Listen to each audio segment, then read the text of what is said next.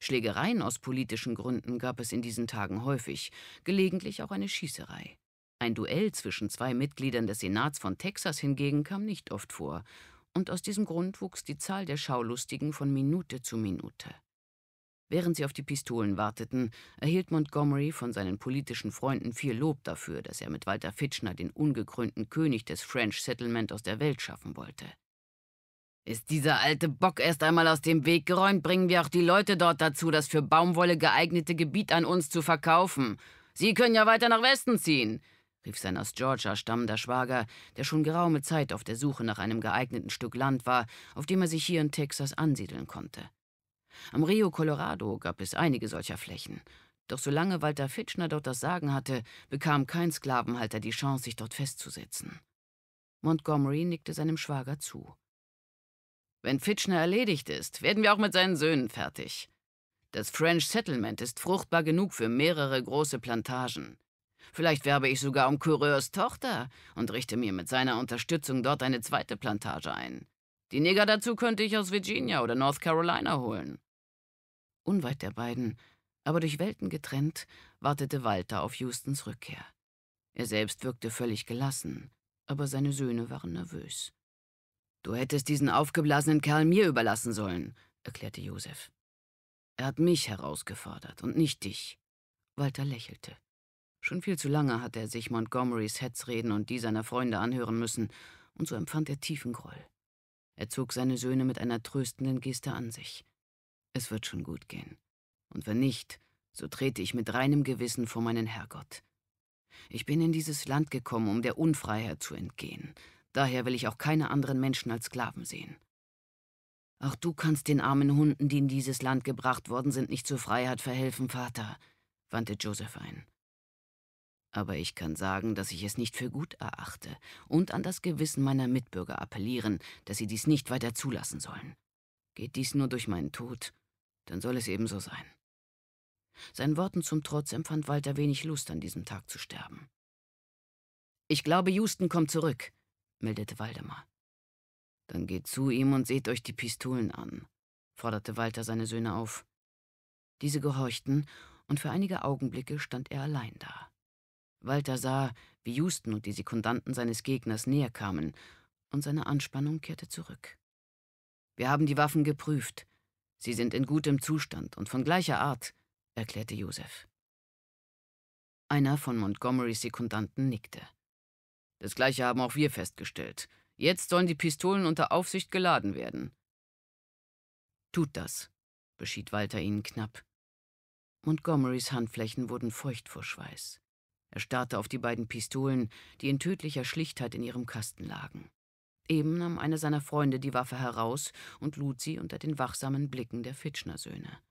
Da kein anderer es wagte, seinem Vater offen beizustehen, ergriff Joseph die andere Pistole und lud sie mit derselben Genauigkeit. Wir haben beschlossen, dass jeder die Pistole erhält, die sein Sekundant geladen hat, erklärte Houston eben regelgemäß. Die Entfernung wurde auf 20 Schritte festgelegt.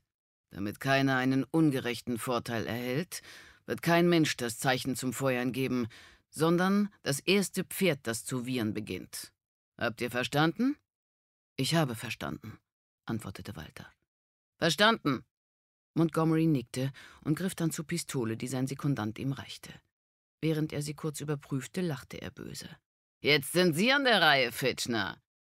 Walter kümmerte sich jedoch nicht um den Ausruf, sondern nahm die andere Pistole an sich und sah zu, wie Josef und ein Sekundant seines Gegners die Entfernung ausmaßen. Als dies geschehen war, stellte Montgomerys Sekundant sich in Positur. Wir werfen eine Münze. Der Gewinner kann sich den Platz aussuchen, von dem aus er schießen wird. Als Geforderter können Sie wählen, ob Sie Kopf oder Zahl wollen, Mr. Fitchner. Zahl, entschied Walter. Der Sekundant zog einen Dollar aus der Tasche, zeigte ihn jedem, der in seiner Nähe stand, damit man sehen konnte, dass es sich um eine neue Münze handelte, und wollte sie dann Josef geben. Werfen Sie, ich vertraue Ihnen, antwortete dieser. Mit einer kurzen Bewegung schnellte der andere die Münze in die Luft. Sie drehte sich ein paar Mal um die eigene Achse und landete dann auf dem Boden. Kopf. Tut mir leid, Mr. Fitchner, Ihr Gegner hat die Wahl. Der Mann gab sich Mühe, keinen Triumph zu zeigen, denn einer der Duellanten würde die Sonne schräg von vorne haben, und das war nun mit Sicherheit nicht sein Freund Montgomery. Dieser wies auch sofort auf die günstigere Seite. Ich wähle diese Stelle. Walter nahm es mit einem Schulterzucken zur Kenntnis und ging zu seinem Platz. Im Gegensatz zu Montgomery hatte er die Waffe noch nicht gespannt, sondern wartete, bis auch dieser sich aufgestellt hatte. Sobald ein Pferd wird, könnt ihr schießen, betonte Sam Houston noch einmal. Nun erst spannte Walter die Pistole und hob sie hoch. Sein Gegner zielte bereits auf ihn, um sofort abdrücken zu können, wenn ein Wiehern erklang. Obwohl es in der Umgebung etliche Pferde gab, blieb es jedoch still. Keiner wusste zu sagen, wie viel Zeit verging. Sekunden dehnten sich zu Minuten und Minuten zu Stunden. Für Walter und seinen Gegner wurde es zunehmend schwer, die Pistole mit dem ausgestreckten Arm zu halten. Während Montgomery die Zähne zusammenbiss und mit dem Zeigefinger den Abzugsbügel umklammerte, atmete Walter ruhig durch und hob den Lauf der Waffe ein wenig, um das Gewicht zu verlagern. Plötzlich hallte ein misstönender Laut durch die Stadt. Noch während des ersten Tons feuerte Montgomery und sah seinen Gegner kaum merklich zusammenzucken. Walters Wange und Hals färbten sich rot, und für ein paar Augenblicke hoffte Montgomery, ihn entscheidend getroffen zu haben. Da senkte Walter den Lauf seiner Waffe ein wenig und zielte auf die Brust seines Gegners, sagte sich aber, dass er mit Montgomerys Tod nichts gewann. Daher zog er die Waffe leicht höher, um den anderen in der Schulter zu treffen. Sein Schuss krachte, doch in dem Moment ließ Montgomery die nutzlos gewordene Pistole sinken und bewegte sich unbewusst zur Seite, um der Kugel seines Gegners zu entgehen. Statt der Schulter traf die Kugel daher den rechten Oberarm. Montgomerys Pistole flog durch die Luft und blieb mehrere Yards entfernt liegen. Blut floss wie ein Bach aus der Wunde, während er bleich und mit einem verwunderten Ausdruck dastand. Offensichtlich konnte er nicht begreifen, was geschehen war. Einen Arzt! Einen Arzt! Kreischte Rachel Coureur und eilte zu Montgomery. Bei Gott, welch ein Unglück! Sie sind hoffentlich nicht schwer verletzt, Senator. Montgomery versuchte den Arm zu bewegen, ließ es aber mit einem Aufschrei sein.